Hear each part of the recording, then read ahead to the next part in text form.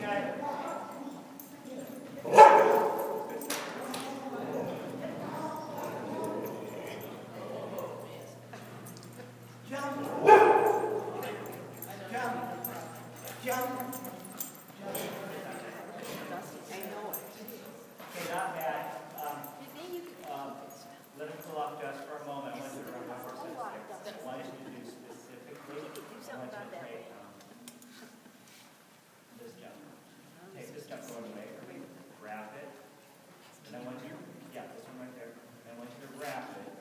back into the sequence, but I want you to take a far jump when you do it.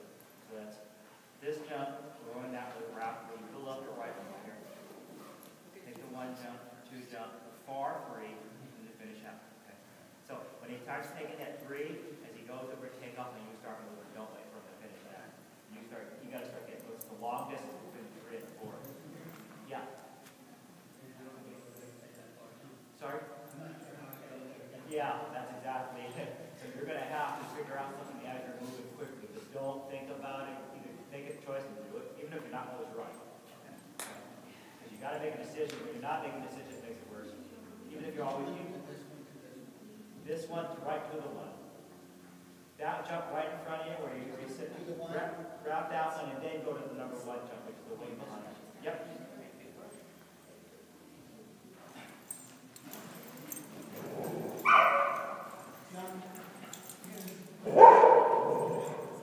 Okay, okay, try it again. Just to make sure you slide it. Slide. Okay.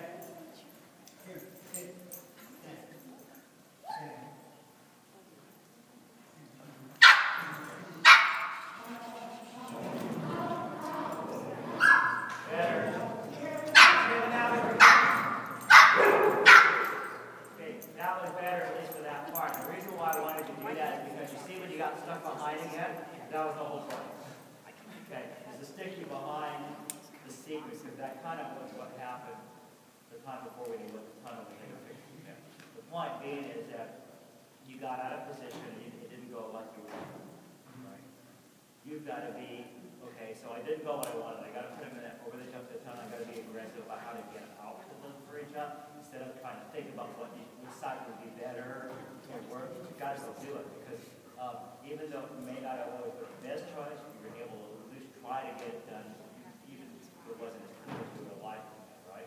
But the point being is that when you had to sit and think about which side would have been better, that was, that was like, oh, this one is there, because it didn't either one of them. So, guys, what we're trying to get Wayne to do is with his job, he's got to learn how to make a choice, even if it's not always the, the optimal choice. I don't want to say the incorrect, because it's, it's about the optimal choice, because if he makes no decision, it makes it a lot harder for both these guys to get on track. So even though he had to get away, he put the dot on a line, he said, get going, get out, right? Move away if you can, buddy, get on one chair, get going. He was still able to pull off the jump, even though it wasn't always the best choice, right? And that's one of the things he's got to do with this dog, is that this dog, Mer- Merle would give him the opportunity to make the correct choice. He is not going to do this. Be easy.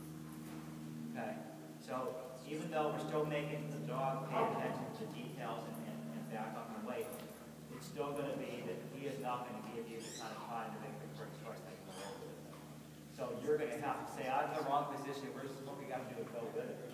Yeah, exactly, because he's gonna force, he's actually gonna force you to be a better handler than, than than simply because you're gonna have to make quicker decisions and, and again, even if it's not always the best. Yeah, exactly. I won't guarantee that, yeah. Yeah, but that's what you gotta do, because that's how you start solving issues, but also how you keep him from doing, um, things where he starts, uh, like opting to not take a jump or spin too often or whatever it is, because now you're trying to be more assertive, but this is what I, I screwed up, this is what I wish I still do, you know, you know what I mean? Yeah, okay, good.